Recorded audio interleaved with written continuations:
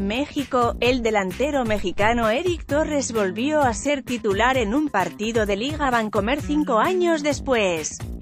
El Cubo, estuvo desde el inicio en el encuentro de Pumas ante Necaxa por la jornada 13 del Clausura 2018, David Patiño lo mandó para hacer la dupla a la ofensiva con Nicolás Castillo, sin embargo pocos balones tocó Torres quien a pesar de siempre tener movilidad para buscar que le ran el esférico, sus compañeros no solían apoyarse en él y cuando lo hacían el Cubo, no le daba buen seguimiento a la jugada.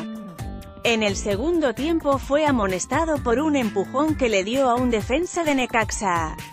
Al final se fue de la cancha a Buchedo para dejarle su lugar a Matías Alustiza. Ante los rumores que lo colocan como sucesor de Rodrigo Ares de Parga, el exjugador dijo que hay que esperar, aunque no negó que le gustaría. La última vez que arrancó un duelo en la Liga Mexicana fue en el Clausura 2013 cuando militaba en las Chivas y cayeron 2 a 0 contra Santos Laguna.